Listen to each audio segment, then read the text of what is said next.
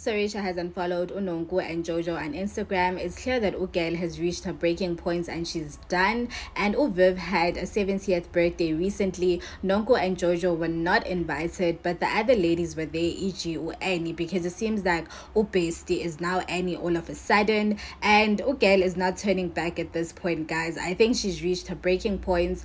And I feel as though if it makes her happy and sleeps better at night, good for her. Sometimes you just need to cut ties, move on with your life and be happy and have peace and peace of mind please do subscribe comment below like and share this video